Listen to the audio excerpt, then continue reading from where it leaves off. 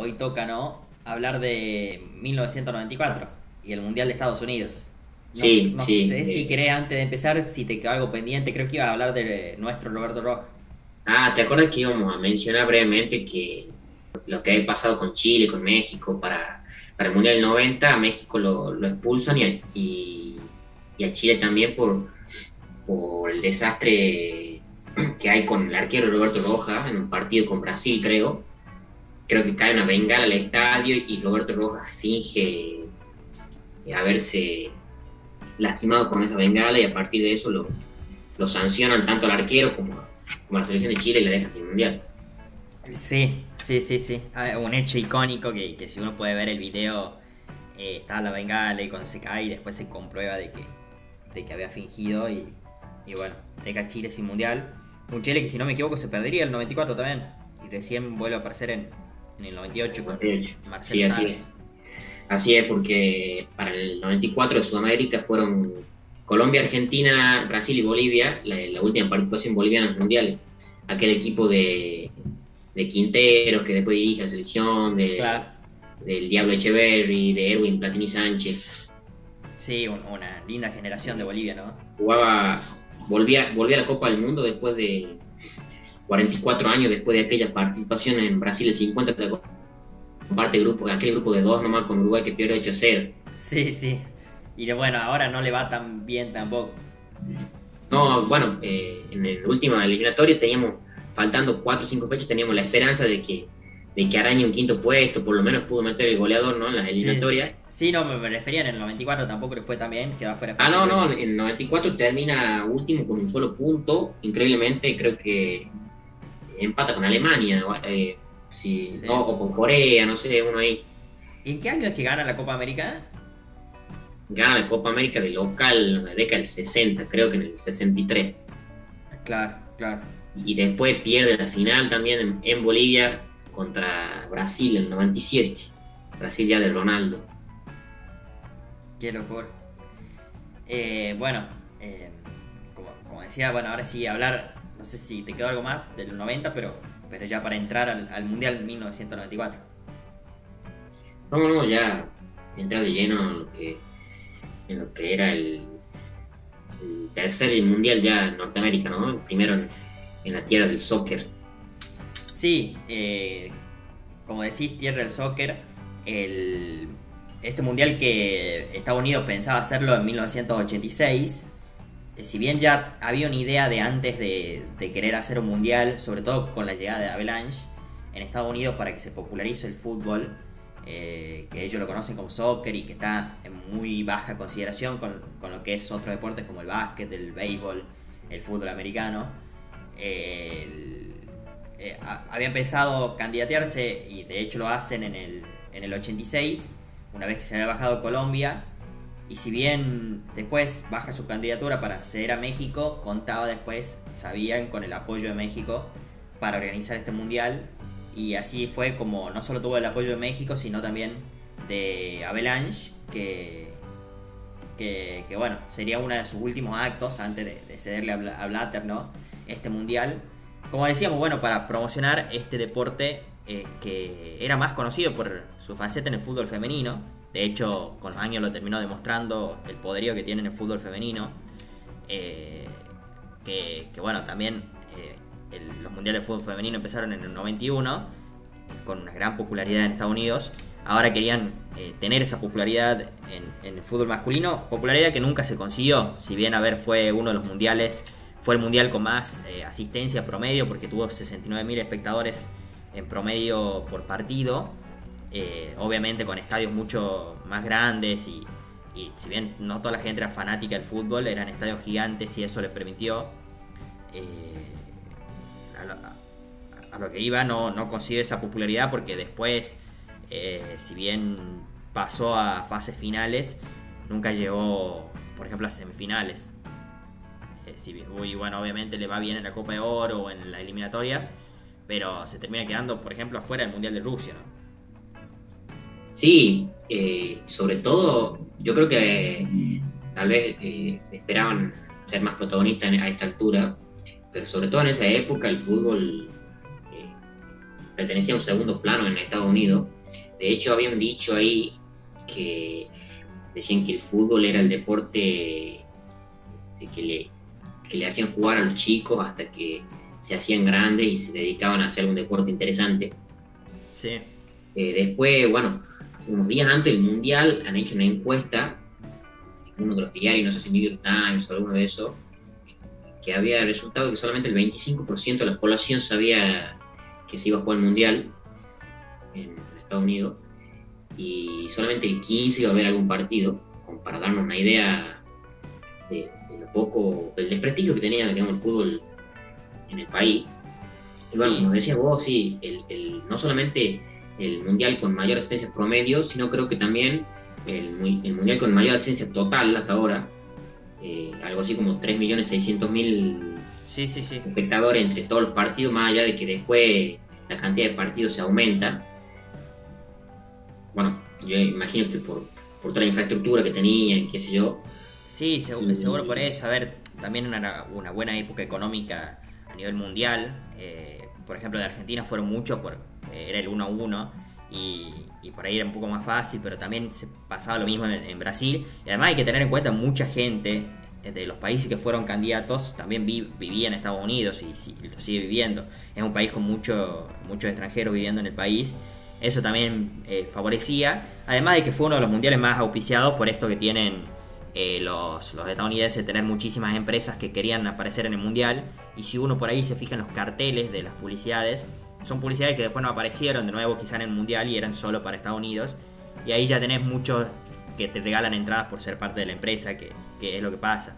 Después, bueno, como decíamos, el mismo Avalanche y después ya Blatter achicó el, el, nivel publicitario y, bueno, le permiten a, menos, pero en ese mundial hubo muchísima publicidad en todas las empresas.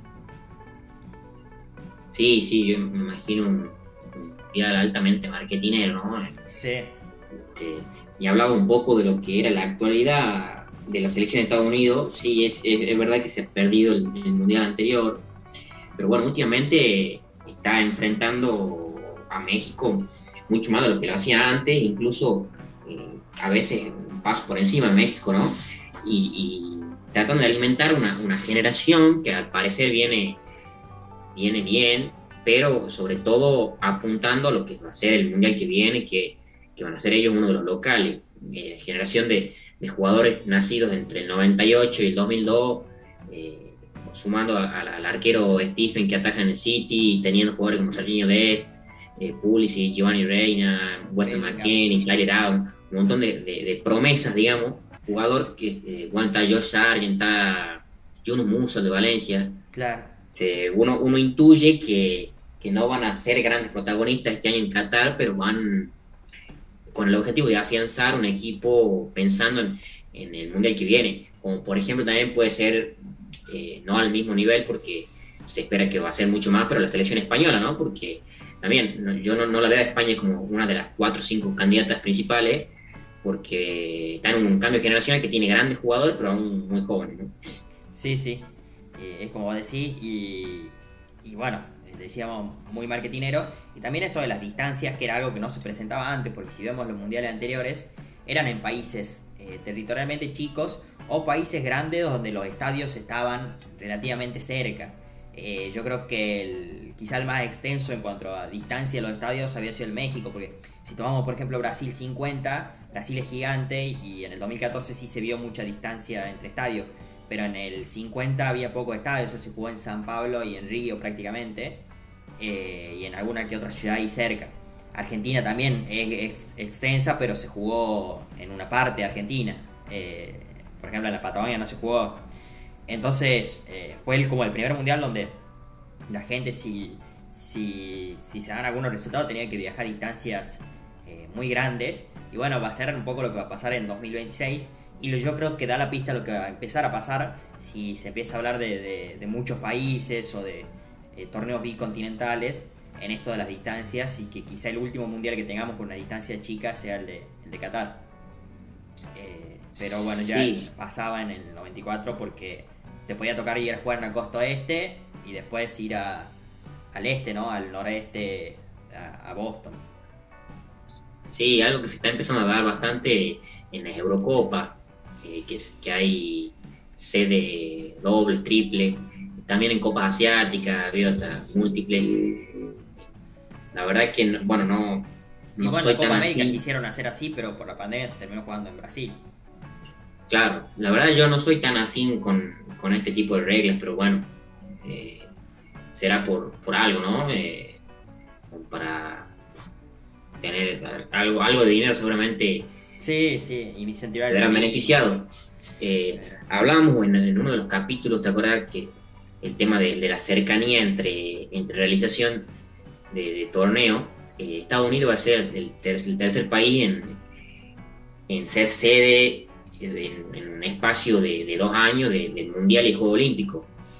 Hablamos de México en el 70, después de Alemania en el 74, que habían sido bueno, los juegos de, del 68 y del 76 en el 72 en caso de Alemania, y llegaba, bueno, Estados Unidos que iba a ser sede del Mundial en el 94 y, y de los Juegos Olímpicos de Atlanta en el 96. Después, bueno, se iba a sumar Brasil cuando iba, bueno, organizó el Mundial en 2014 y, y los Olimpiadas de. Sí, sí. Eh, y, bueno, era un algo, un furor en el, en el deporte, pero en otro tipo de deporte. Bueno, en la época de Jordan, ¿no?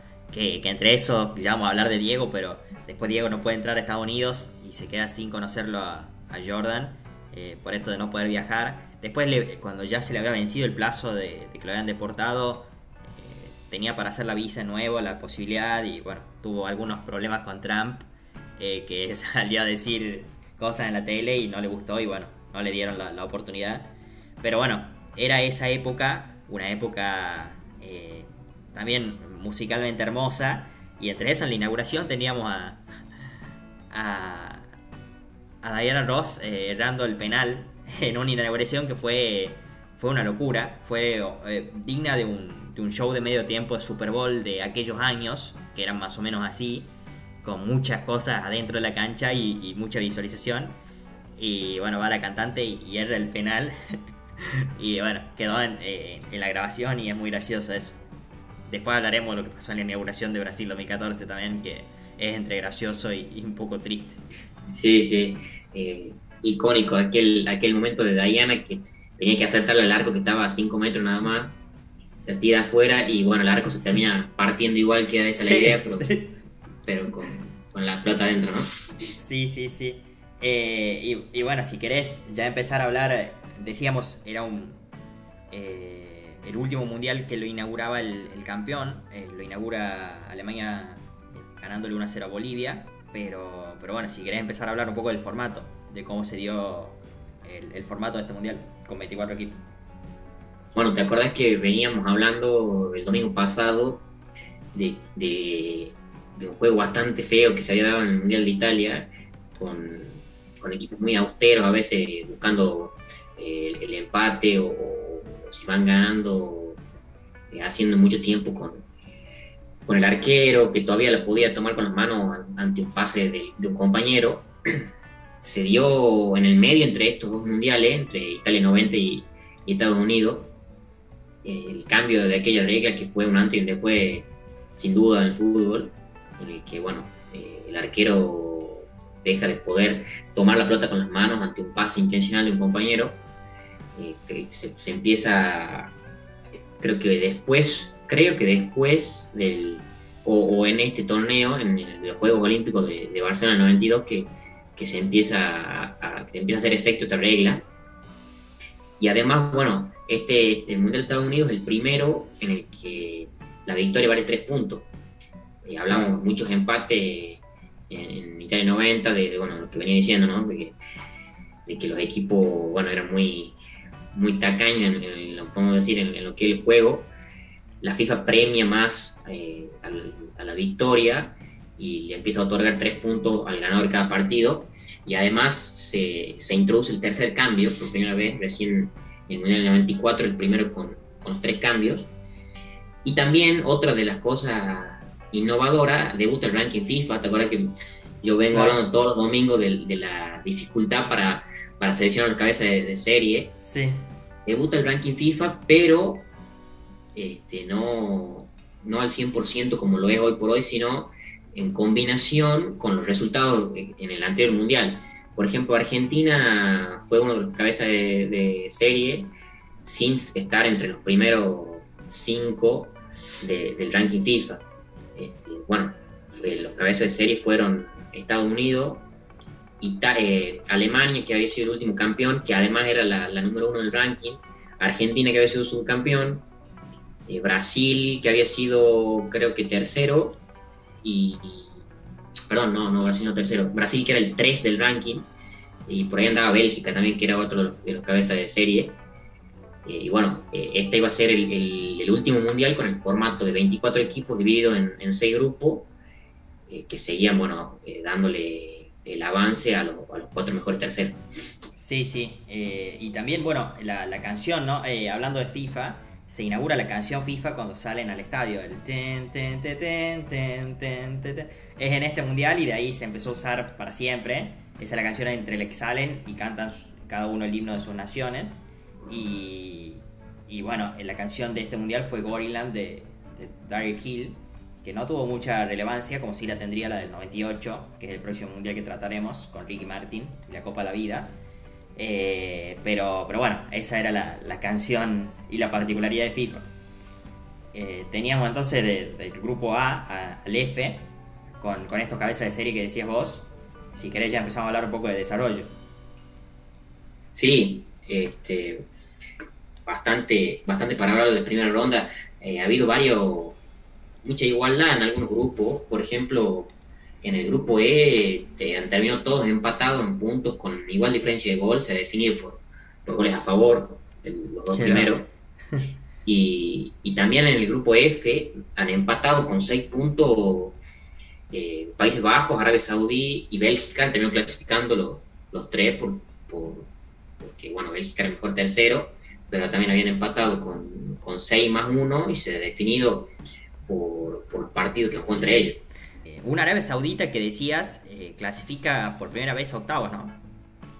Sí, eh, histórica, histórica participación del, de la selección árabe que contaría con Said Al-Awarian, que iba a convertir, el se dice, el tercer mejor gol de la historia de los mundiales, arrancando desde mitad de cancha, iba a ser un gol este, casi maradoniano, podríamos decir, Sí, sí, eh, veanlo, ese gol es tremendo, es tremendo.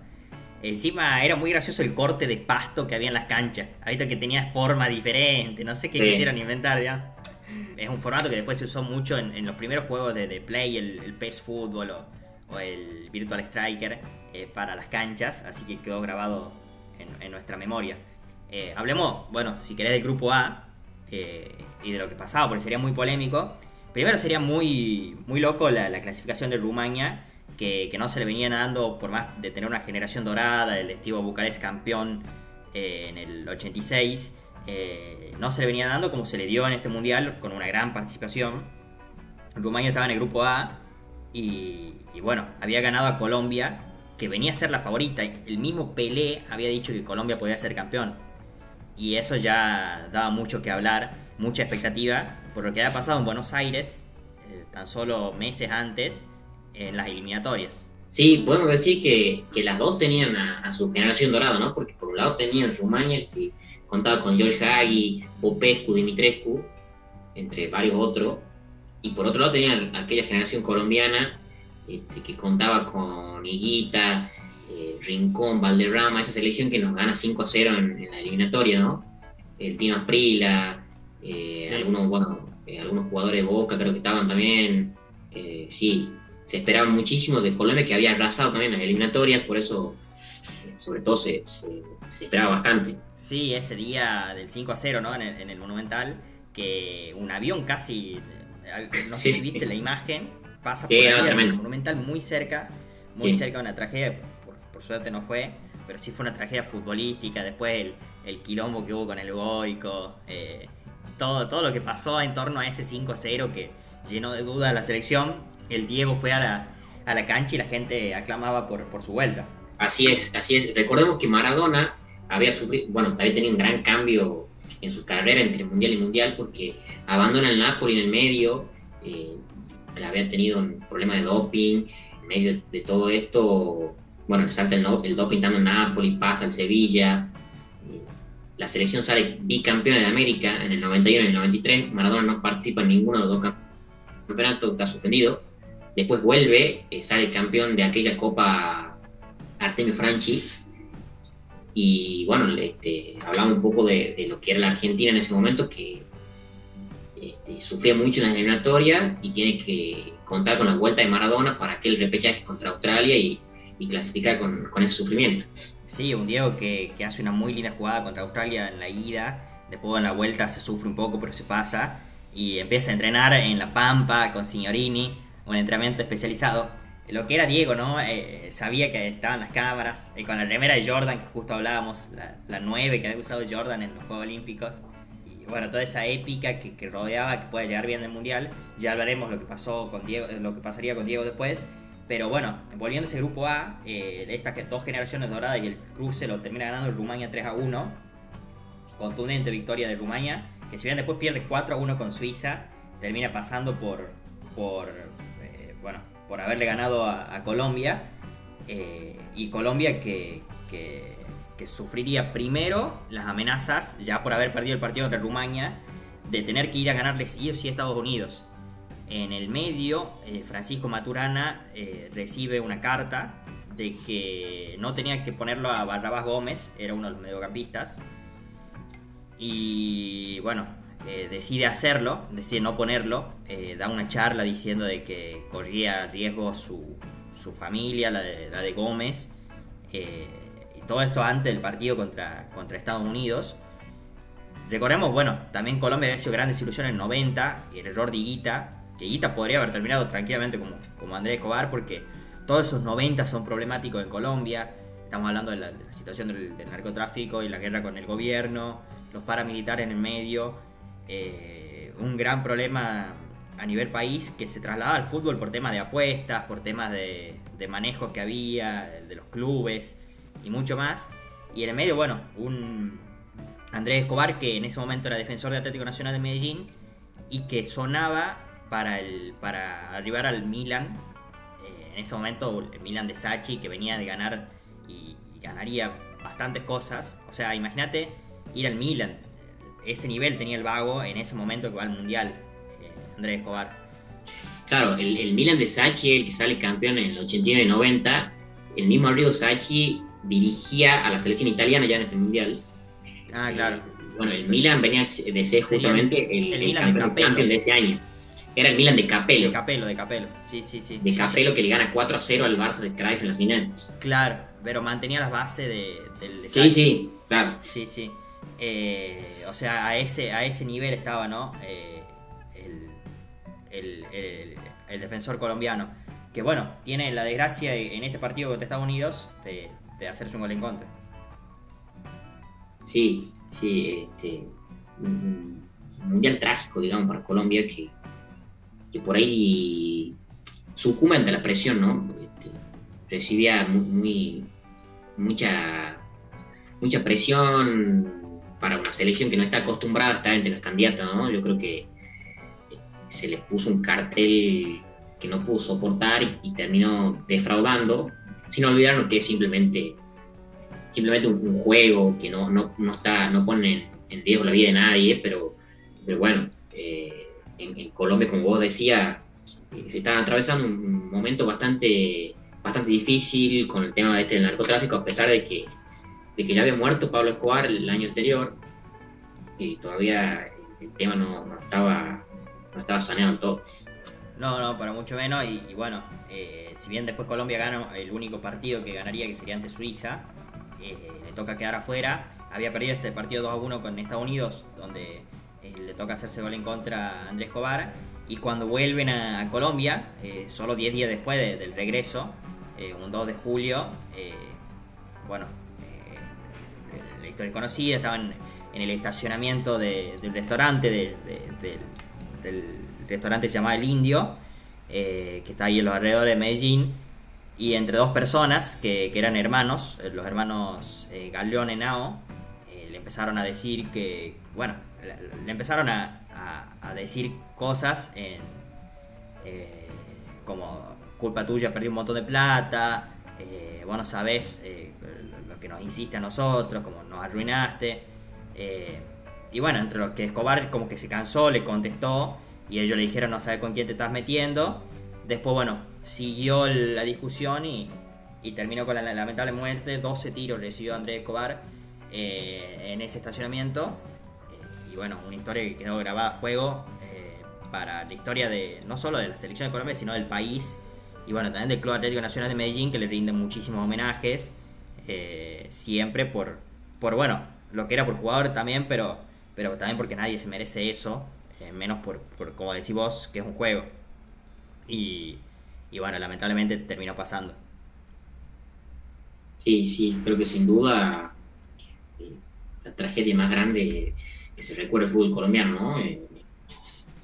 algo que no, no se olvidará nunca, se cumplieron justamente ayer 28 años. Estamos justamente claro, en época en la que se un aniversario de, varias, varios sucesos mundialistas, digamos. Sí, sí. Eh, y bueno, es algo que, que, realmente impactó. En el grupo B teníamos a Camerún, eh, que, que también eh, había sido sorpresa en el Mundial 90 y que contaría con la participación nuevamente de Roger Mila, que, que no sé si sabías, se llamaba Roger Miller como la cerveza. Eh, pero bueno, se lo cambia por, una cuestión de, sonido y, de que sea un poco más africano. Entonces queda Roger Mila. Eh, un Roger Mila que ya ha ido de grande al Mundial 90, terminó siendo una de las figuras. Y cuando va al Mundial 90, se dice que lo había llamado el presidente. Eh, creo que se llamaba Vila, el presidente y que Roger Mila quería ir a una isla a jugar, o ya, ya, estaba jugando en una isla como muy retirado y alejado del fútbol profesional. Y cuando le llama el presidente lo convence, le dice, no, vos tenés que jugar el Mundial 90, que, 38 no es nada. Estamos hablando de 38 y de, que no sabemos bien la edad en esa época que tenían los deportistas africanos, viste que, eh, bueno, todavía hasta de Mukoko hay duda, imagínate de, de Roger Mila. Y bueno, fue Roger Mila al 90, contamos en el Mundial 90 fue figura, eh, pero lo más curioso es que haya ido al 94, al 94, claro, con 42 años, siendo hasta ese momento el futbolista más longevo en jugar un mundial y hasta hoy el más longevo en jugarlo y, anotar un gol. Después, claro, lo superaría Farid Mondragón eh, y un, Roger Mila con 42 que, que no, no aceptó de, de bailar su macosa, que era la, la famosa danza africana que bailaba en el banderín de corner y tan recordada está. Así es, sí, en, ese momento eh, iba a ser el más viejo en, disputar y aún hoy sigue siendo el, más viejo en meter, en meter un gol eh, con 42 años en aquel entonces, yo imagino difícilmente se ha superado. Por ejemplo, en 2010 creo que Palermo tenía 36, después tuvo Felipe Baloy, eh, la Bruna en su momento había sido, creo que el que se ha superado por, por Milla. Eh, y bueno, como decía vos, después lo supera Mondragón en, en, Brasil y a Mondragón lo supera en Rusia el arquero egipcio, el que era el Agassi, algo así, que ya tenía 45 años, que ya la pone la vara muy alta, ¿no? Sí, sí, sí. Eh, como Diego diría, es arquero no vale. claro. claro. Pero, pero bueno, si querés contar un poco del gol que hace Milla en el partido en que lo hace. Camerún 1, Rusia 6. Rusia ya jugando con Rusia. Bueno, en ese partido eh, se, dan dos hechos curiosos porque uno es este de Roger Milla, con estos récords que, que él le toca hacer. Y por otro lado tenemos el único repóker en la historia del mundial, eh, que es el, el convertido por Alex Salenko en su tarde de gloria, digamos Alenko que iba a terminar siendo el... Sus minutos de fama como Toto Esquilac. Totalmente. Y Oleg Alenko iba a terminar siendo el goleador del mundial, quedando afuera en primera ronda, algo increíble.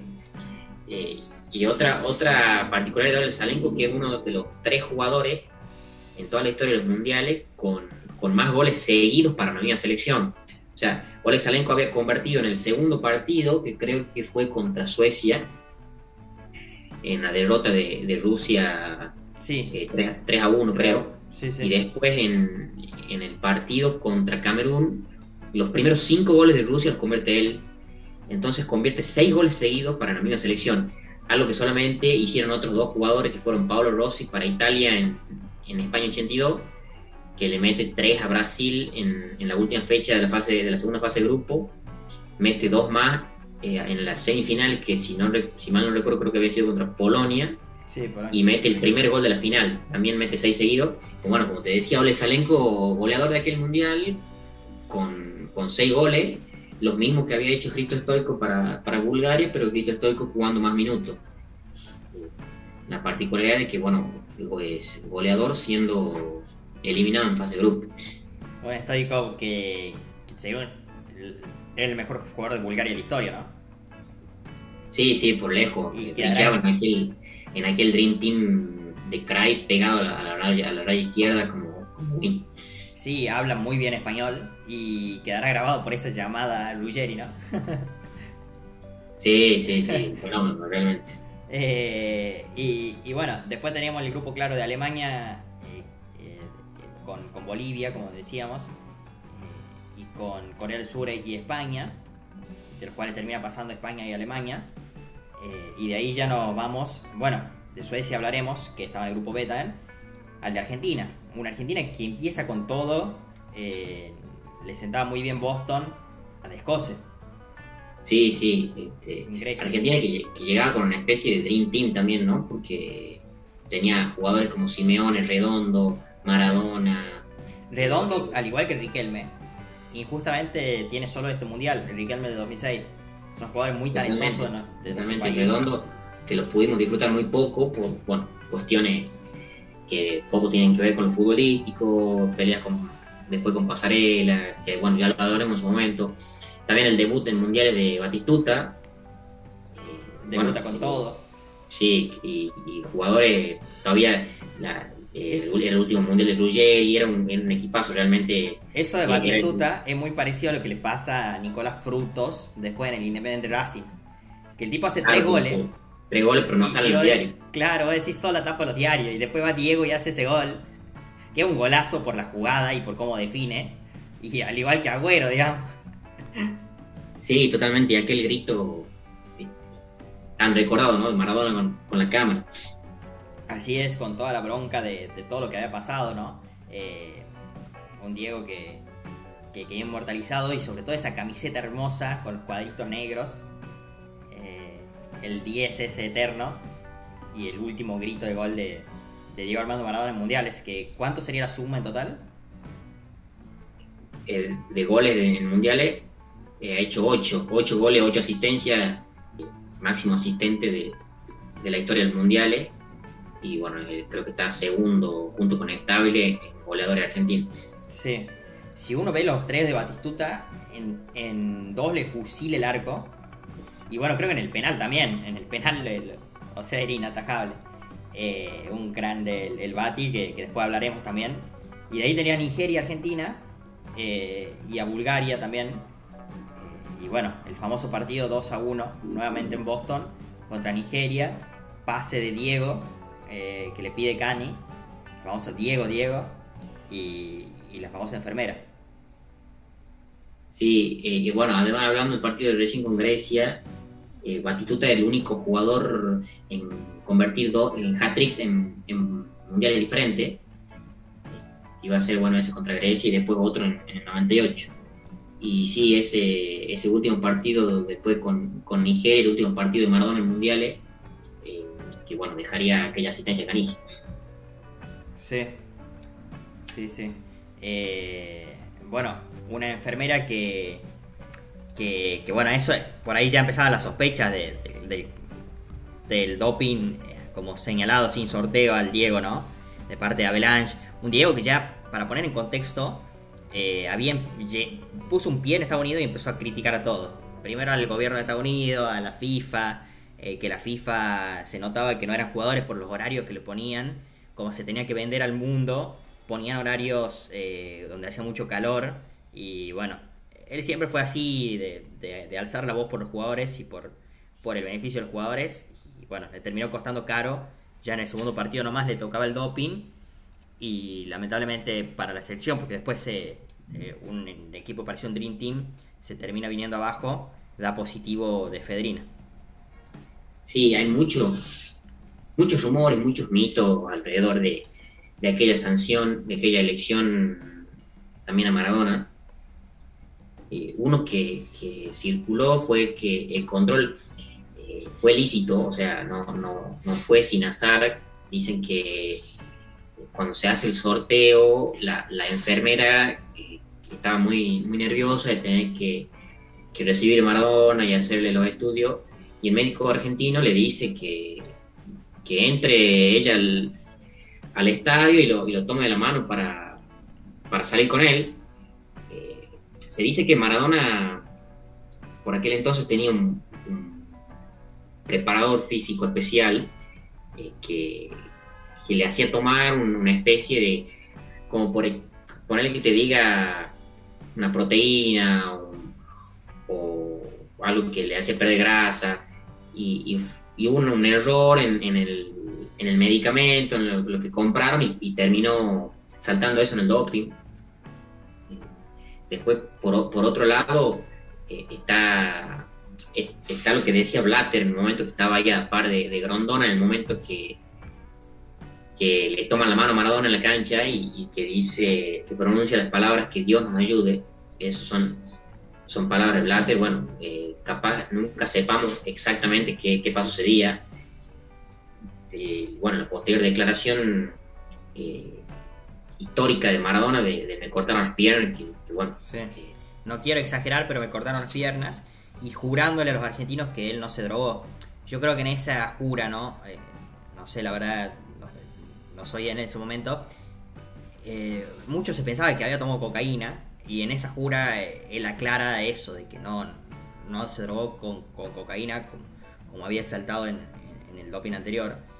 Eh, pero bueno, eh, yo, yo pienso que así, que fue un, un, medicamento que le daban, según Signorini, para, para adelgazar, que podría haber tenido efedrina sin que Diego se dé cuenta. No lo hizo tampoco para tomar ventaja, ni mucho menos y más cómo se había preparado. Eh, pero bueno, era un blanco fácil, por esto que te decía, eh, de, de, cómo llegó criticando a todos y parte de él, del fenómeno de Maradona. Sí, sí, totalmente. Y como dato, bueno, la enfermera de la Cruz Roja, eh, Sue Ellen Carpenter, que tenía 33 años, ahora tiene 58, ahora trabaja en una clínica de fertilidad en Atlanta y habló, claro, cuando, cuando murió Diego, recordando ese momento y, y esto que contabas vos de, de, que la mandan a ella y después termina siendo tapa de toda la revista. Sí, totalmente. Sí, o sea, eh, la fama no se le va no se le va a quitar hasta, hasta, hasta su último día, porque bueno, lo que pasó ese día es, es, parte de la historia del Mundial. Sí, un equipo que, que, bueno, se viene abajo, Grondona va a avisar el entrenamiento, hay algunos jugadores que cuentan lo que fue, que fue como un contexto de velorio, ¿no? Eh, y que se viene tan abajo que después pierde 2 a 0 contra, contra Bulgaria, de, casualmente estoico. Así es, sí, bueno, eso obligaba eh, a cambiar de sede. De Argentina termina eh, clasificándose este, con mejor tercero y termina, bueno, teniendo que jugar contra Rumania, este, que se dice que no, no, lo vi entero el partido, pero hubo un gran partido, aquel, aquel de octavo contra Rumania, pero bueno, sí, fue... había una, una, baja significativa, no, no, lo, no lo pudieron. Yo lo vi, adelante. empezó muy ida y vuelta, así como decía vos esto de la costa, mi viejo siempre recuerda eso, mi viejo estuvo en ese mundial, eh, de que él quería conocer New York y, y bueno, después lo cambian. Eh, y Argentina termina jugando en, lo, en, el Rose Bowl de Los Ángeles, donde sería la final después. Eh, que, que bueno, eh, también era cambiar de temperatura, de todo. La selección ya que se concentraba en Boston y que esperaba llegar a, jugar en, Boston eh, o en Nueva York, que está cerquita, hasta la final. Y cambia todo de planes y, se termina, eh, bueno, llegando contra Rumania. Un partido empezó muy de vuelta y después ya cuando Argentina empezó a, a dominar, juega, juega Balbo ese partido, juega muy bien. Empezó a dominar eh, de contra eh, nos liquida Rumania. Eh, un Rumania que, bueno, George Hagi quedaría grabado más aún en ese partido en el, en el, inconsciente. Una persona que le decían el Maradona a los Cárpatos, que si bien bueno, para la gente que no sabe, eh, los Cárpatos son unos montes que cubren gran parte de Europa del Este, principalmente el oeste de Rumania. Eh, le decían así por, por eso, aunque si bien George Hay no nació en los Cárpatos, nació en una parte de Rumania que, no llegan los Cárpatos, le dicen así, es como, no sé, que te digan a vos eh, el, el de los Andes, pero que pero, pero que vos veas en Buenos Aires, ¿entendés? Como que no era así, pero bueno, quedó ese, ese apodo inmortalizado el mejor jugador de la historia de Rumania y esa generación dorada que, eh, que bueno, llegaría a cuartos y por penales contra Suecia, que haría un gran mundial llegando a la semi. Sí, sí. Eh, como, bien decía vos, aquella generación, eh, hablábamos no solamente de Hagi, ¿no? sino también de otros grandes jugadores como Dimitrescu, Popescu, que, que bueno, justamente iban a tener la suerte de, protagonizar la mejor, la mejor participación de Rumania en Mundial. Sí, y, y, bueno, pasando al grupo, al grupo E, eh, que, es el que pasa Italia, eh, pasan Italia y, y, también, eh, si no me equivoco, pasa Italia, Irlanda y México. Claro, claro. Italia, Holanda, e Irlanda y México. Y, bueno, y después el grupo F, que, vos decías el triple empate y que termina pasando Bélgica con Arabia Saudita histórico. Eh, que, bueno, es algo que no. Esperemos no se vuelva a repetir en Qatar 2022. Sí, o que clasifiquen segundo atrás de nosotros. Sí. ellos ven que van a hacer. Hablamos del gol de Zaire Lowarian, que solamente pierde en, en aquellas votaciones que se hicieron con el gol de Maradona a Inglaterra y con aquel gol de Owen a la Argentina eh, en el 98, ¿te acuerdas? En, octavo de final que también eh, la mete a 2 o 3, después se la hace larga ya y define cruzado un Owen que volaba en ese momento de sí, que después ganaría el balón de oro. Justo ahí Sánchez, está en total desacuerdo con eso. Ya lo vamos a tener el fin de semana que viene en el programa y además hablando de Owen. Sí, eh, sí, espere. Con muchas ansias esperando que puede aportar Jorge Sánchez a esto. Eh, bueno, no había faltado decir de la mascota de este mundial que era Stricker, un perro muy yankee, muy yankee, con la remera de, de, Estados Unidos 94. Incluso si uno ve el, lo corpulento de Stricker, se, da cuenta de, de Striker, sería, ¿no? Se da cuenta de que, de que fue hecho por, por Yankee, porque bueno, los futbolistas no son tan así como tan corpulentos, si no perderían velocidad. Pero, pero bueno, esa, esa era la mascota. Eh, teníamos, bueno, los octavos, como decíamos, formados, de los cuales pasarían España, eh, Italia, eh, Holanda, Brasil. Los españoles tenían mucha esperanza en este mundial. Bulgaria, Alemania Federal, Rumania y Suecia. Con la sorpresiva eliminación de Bulgaria contra Alemania. La, la última campeona perdería contra Bulgaria retirándose Lothar Matthaus en mundiales. Si querés tirar el dato ahí. Ah, bueno, Lothar Matthaus también iba a jugar después el de Francia. Ah, el de Francia también. Claro, mm, él juega del 82 al 98 y, y bueno, el, eh, el, primer jugador de campo en jugar en cinco mundiales y además, bueno, el, el jugador con más partidos jugados en mundiales que jugó 25. Pero sí, él jugó 82, 86, 90, 94 y 98. ¿Y por qué de campo? Antes lo había hecho alguien porque claro, Antonio Carvajal, el mexicano, ah, también había jugado entre el 50 y el 66 cinco mundiales. Qué loco, ¿no? Después, bueno, Buffon no, no jugó en, los cinco, en, Francia 98 no, no jugó ningún minuto, fue convocado a cinco mundiales y después, bueno, el, tercero que jugó en cinco mundiales fue Rafa Márquez, que además tiene el récord casi inigualable de ser el único jugador que fue capitán en cinco mundiales. Qué hermoso eh, un gran Rafa, que ya, ya nos tocará hablar también de, lo que fue. sí, y eh, ahora, ahora va a ser el técnico del Barça B. Mira, mira, un gran ganador en el Barça. Sí. Y, bueno, un emblema de la selección de México que nos toca a nosotros también en 2022. Hablemos de, bueno, España, como decíamos, eh, le tocaba a Italia, le tocaba perder contra, contra Italia que llegaría a la final. Sí, un gran partido ese, un partido histórico, lo recuerdo mucho los españoles partido, por, por una, una, gran infracción no cobrada, el, el famoso codazo de Tazotti a Luis Enrique, que, que queda Luis Enrique con toda la cara ensangrentada y, bueno, los jueces no lo ven y, bueno, obviamente en esa época no existía ni el bar ni todo lo, que existe hoy y bueno, quedó toda esa bronca para el, para el pueblo español porque debería haber sido roja para, para Casotti y después terminan pasando Italia. Sí, un mundial que contaba con figuras de, eso, ¿no? Del tamaño de Luis Enrique, pero, eh, pero bueno, también de, de como hablaba Maradona, y ya empezaba Romario con todo. Eh, o sea, figuras nivel crack, bueno, eh, Dunga también, eh, Stoico, nivel leyenda, digamos. Sí, y en, en, los Países Bajos había grandes jugadores también, creo que debutaba Dennis Bergkamp, mismo Canige en la Argentina también, campeón del mundo, sí, la verdad que... Un, claro, bueno, Rijkaard seguía en Holanda también. Claro, un mundial con, con muchísimas figuras, incluyendo, bueno, lo los últimos campeones mundiales en Alemania, el mismo Rudi Feller, Matau, grandes, grandes jugadores que hubo en aquel mundial. Bueno, y Paolo Maldini también.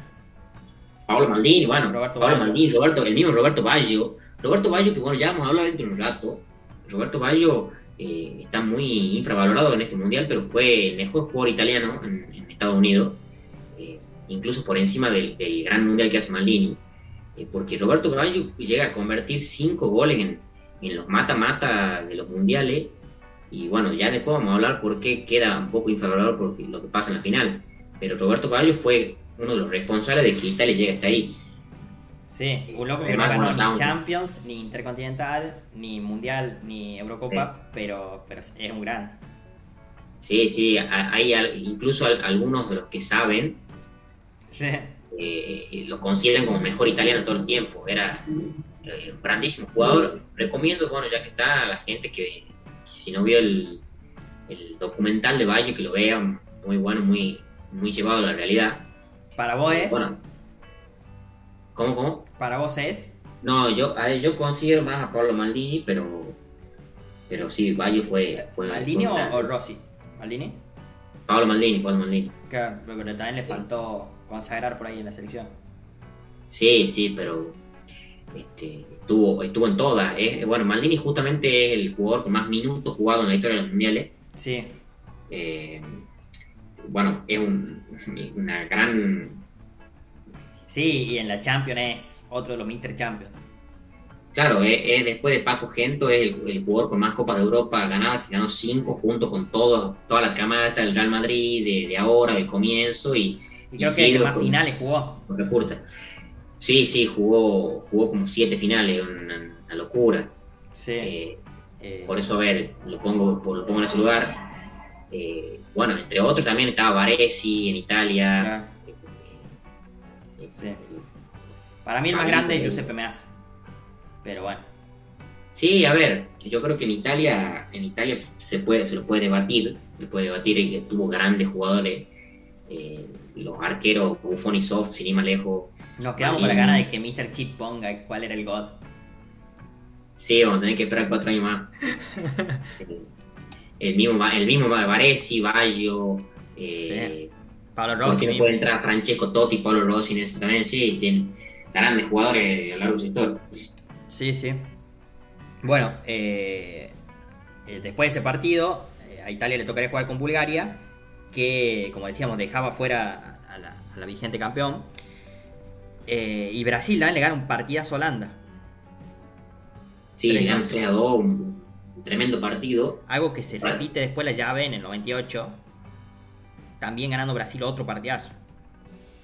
Sí, sí, un Brasil que sin lugar a dudas el, campeón brasileño más deslucido porque eh, muy, muy fuera de, lo que es la filosofía brasileña para jugar al fútbol, ¿no? Eh, en este, en este caso jugó con más con un triple 5, jugaba Mauro Silva, jugaba Dunga, jugaba Masinho Alcántara, el padre de, los Alcántara, eh, más un, juego a, la italiana que a la propia, que la propia brasileña, ¿no?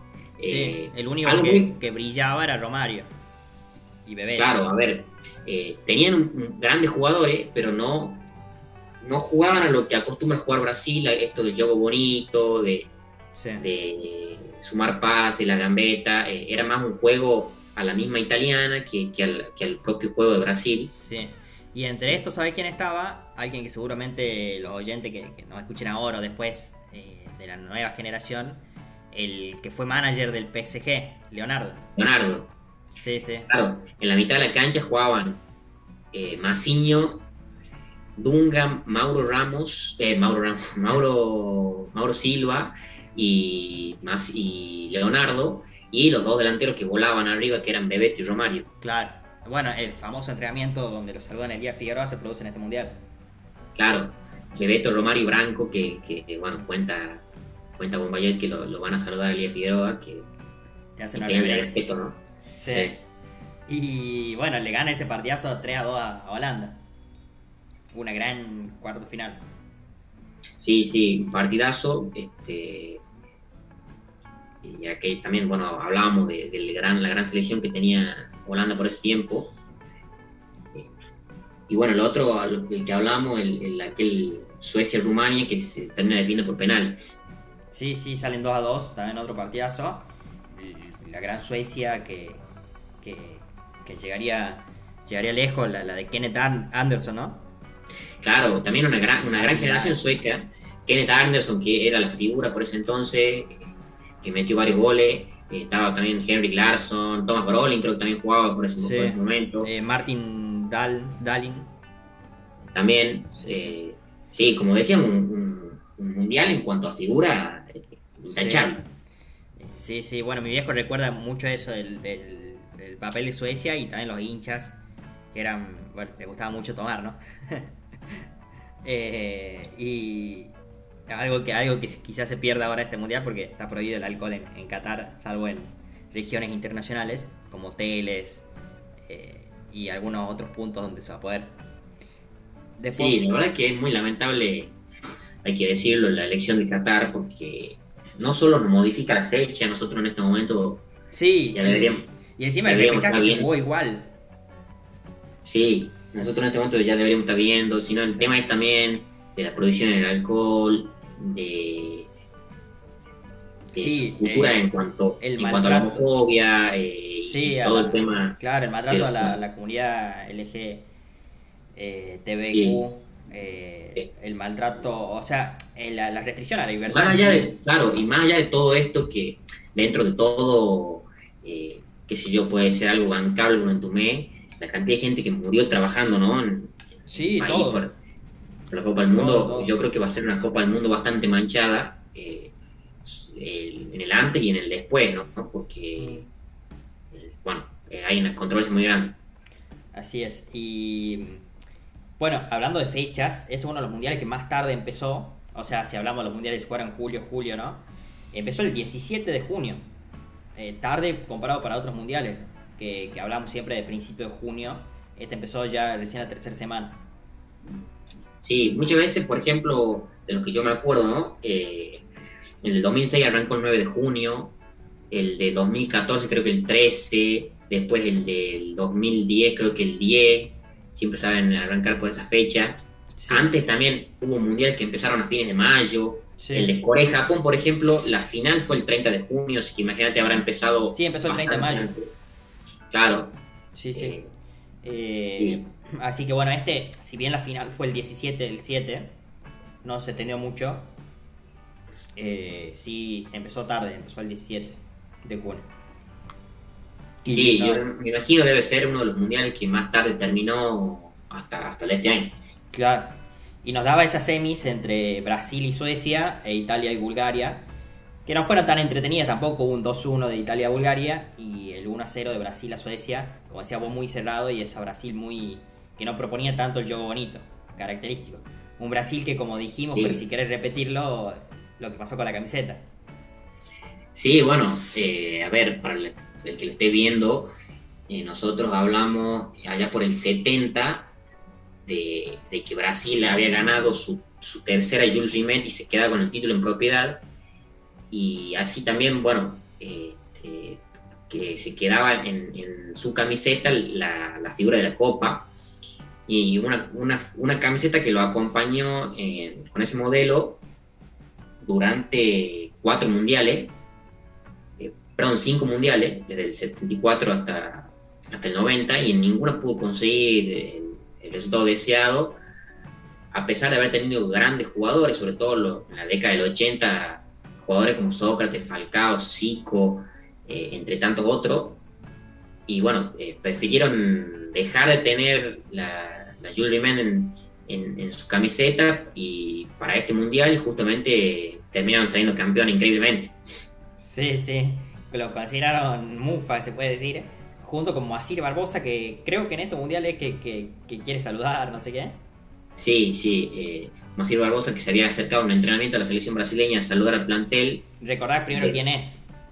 Masir Barbosa era el arquero de Brasil en el Mundial del 50, eh, bueno, en el que bueno, todos sabemos se dio el famoso maracanazo, sin tener gran responsabilidad en los goles de Uruguay en aquel último partido, se lo, bueno, siempre la gente en general, el periodismo trata de encontrar un culpable y se lo señaló a él, y bueno, se lo, se lo consideraba mufo por aquel entonces en Brasil y, y fue para este para el plantel brasileño que estaba, se estaba entrenando con con vistas a este mundial, quiso entrar a saludarlo y, desde el cuerpo técnico lo, corrieron, por, alegando que era algo totalmente cruel, podríamos decir, ¿no? Sí, pobre Masir, pobre. Eh, y bueno, la final en el Rose Bowl eh, de Los Ángeles, eh, ese Brasil 0, Italia 0 que nos durmió a todos, pero que bueno, tuvo en los penales la, la, famosa y desgraciada para Italia eh, de Roberto Baggio. Este, sí, en la final, bueno, sería la el único 0 a 0 en la historia de las finales y el primer empate, es decir, la primera vez que se, que se definió por penales. Eh, no, sin grande. Maldini la final. ¿Perdón? Juega muy bien Maldini la final. Sí, Maldini juega un tremendo partido, sin grande emoción en la final. Lo, más emocionante es que el palo de que se le escapa la pelota a Pagliuca, que después le termina dando un beso en señal de agradecimiento. Eh, y algún que otro mal mano, pero sin, sin gran emoción. Y a los 21 del primer tiempo se lesionaba Jorginho en Brasil. Y de esta forma entraba Cafú, ya de, este, formando parte de aquella selección desde ese entonces, que posteriormente sería el único, se convertiría en el único jugador en, disputar tres finales del mundo, porque también iba a jugar contra Francia en el 98 y la final con Alemania en 2002. Qué grande. Este, bueno, un Brasil que ya, bueno, eh, nombramos casi el equipo entero recién, ¿no? Tafarel en el arco, Jorginho, que te ¿Ronaldo llega a sumar minutos? No, en este mundial. No, Ronaldo, Ronaldo, bueno, era el que íbamos a hablar también. Ronaldo se convertiría en el segundo jugador más joven en ser campeón del mundo, eh, pero bueno, no, no, iba a sumar ningún minuto en, aquel mundial. Después de Pelé. Claro, después de Pelé. Primero está eh, Pelé, el segundo Ronaldo, el tercero es Giuseppe Bergomi. ¿Con cuántos años era? ¿Bergomi? No, eh, Pelé, Ronaldo y Bergomi. Pelé tenía 17, creo que 17 años y 249 días. Ronaldo en este mundial también tenía 17 y más o menos por ahí, Ronaldo de septiembre del 76, Bergomi ya con 18, y bueno, el, cuarto lugar es para Mbappé en, Rusia. Qué loco. Eh, Mbappé y Pelé siendo muy protagonistas. Sí, y bueno, después en los penales, los dos primeros serían errados. Este, era primero eh, Italia, no me acuerdo bien quién patea. y, y, era para, para Brasil Marcio Santos después eh, convierten, creo, lo, lo, siguiente. Ah, era Varesi para Italia el primero. Sí. Un Varesi que también hay que mencionar que en el segundo partido se lesiona. Este, tiene un problema. Ah, sí, eso es increíble. Este, se, rompe el menisco interno, creo, de una rodilla. Que fue, fue algo que le pasó hace poco a Ansu Fati en, en Barcelona hace un año y medio más o menos, que Ansu Fati eligió operarse y, estuvo afuera de la cancha algo así como cinco meses o más, porque después se le complicó en el medio, tuvo que esperar más, que es algo que vos podés elegir operarte y, estar afuera entre cuatro o cinco meses o eh, esperar a eliminar la zona dañada que te deja fuera entre uno o dos meses. En este caso Varesi sufrió algo así, pero se, se lesionó en el primero o segundo partido y llegó a jugar al final algo totalmente increíble, eh, que habla bueno, más o menos lo que era, no sé, tanto la personalidad como, como el físico de Varese para, para llegar a aquella, Sí. aquella final para él también, porque termina, termina errando uno de los penales. Claro. Después hacen, bueno, Romario y Albertini. Albertini que es uno de los que perdió todas las finales, ¿no? Albertini también, al igual que Maldini, son los jugadores que perdieron eh, finales tanto continentales como mundiales, incluye selecciones. Eh, bueno, esa- ese total infortunio para ellos, que bueno, también hay que, hay que estar para perder, para perder eso, ¿no? Total. Eh, De ahí hacen Branco y Evani. Hace Dunga, el capitán. de ahí era un italiano, creo. Sí, Massaro. Er- Erra, claro, Massa Erra, Y tenía que hacer o hacer Roberto Baggio para seguir. y la termina tirando por arriba. Sí. Es la, la imagen de ese mundial. La saca el estadio casi. Sí, lamentablemente Baggio, que venía teniendo un tremendo mundial, yo creo que si Italia hubiese salido campeón, eh, lo hubiesen elegido Baggio Balón de Oro. Sí. De hecho, este, de hecho, Baggio gana el Balón de Oro el- en el mundial en el año anterior, este, siguiendo, bueno, lo que es la maldición, entre comillas, del vigente Balón de Oro que nunca pudo hacerse del, del mundial. Este, recordando así brevemente, en el 2018 venía de ser Cristiano Ronaldo el, el Balón de Oro, en el 2014 de- también no ganó, no pudo ganar ninguno de los dos. En el 2010 venía de ser, de ser Messi, en el 2006 este, venía eh, Cannavaro. Ronaldinho, Ah, lo gana después. claro, los ganadores lo gana ese año. Y bueno, en este caso, Baggio había ganado el Balón de Oro en el 93 y, y termina perdiendo esa final. Este, bueno, el Balón de Oro después a fin de año lo, se lo iban a dar a Cristo Stoico. Y el Balón de Oro de este mundial se lo daban a Romario, que realmente tuvo un gran mundial con cinco goles y tres asistencias. Y que bueno, después eh, la revista France Football, cuando hace una revisión, en el momento en el que deciden pasar a darle el balón de oro este, a jugadores que también son no europeos, eh, uno de los cambios hubiese sido Romario en el 94 en lugar de Stoico. Romario, uno de los que más goles hizo en la historia. Y brilló completamente en este mundial. Totalmente, este, a ver, un jugador que, que si se hubiese dedicado un poco más por ahí eh, hubiese estado muchísimo más arriba en la consideración de la historia del fútbol, porque dentro del área la verdad que era infalible prácticamente. Pero bueno, le, le gustaba mucho el tema de la fiesta, por ahí se peleaba con los entrenadores. Bueno, hay una historia muy conocida, creo cuando jugaba en el Barcelona, que pide irse si a- y le dice al técnico. carnaval. Sí, sí, si hace un gol te puede ir. así. Eran, eran dos goles. dos goles, dos goles. Greifel pega dos goles y a los 20 minutos había hecho los dos goles y estaba pidiendo el cambio, algo increíble. Creo que era el carnaval acá, ¿no? Y el carnaval de Río, creo. Está loco. Y mejor jugador joven no hubo, ¿no? No, eh, a ver, yo creo que después me debería fijar, pero oficialmente el premio Mejor Jugador Joven se lo empiezo a dar desde recién en el 2006. Claro, claro, eso lo dijiste, pero por ahí he visto que, que después reconsideran. Claro que después los que saben hacen un, Sí, un estudio final y, y- y por- porque por ejemplo creo que en el, en el 90 lo habían elegido Prosinecki, claro. este, pero no, no era algo oficial del, del- del torneo, digamos. Claro, claro. Bueno, esperemos que el balón de oro ahora lo gane Benzema. Sí, sí, yo creo que el que se lo merece, ¿no? Eh, y podemos cortar con, con la maldición del, del vigente eh, ganador del Balón de Oro que, que va a ser ahora eh, en octubre, creo que va a ser el- la entrega y, y ya vamos a llegar con, con un jugador distinto a Messi. Y sí. Esperemos. Eh, bueno, no sé si te quedó algo más para decir de este mundial. Eh, creo que no, a ver, bueno, el, tercer puesto sí, bueno, iba a ser para, para Suecia que le gana creo que 4 a 0 a Bulgaria.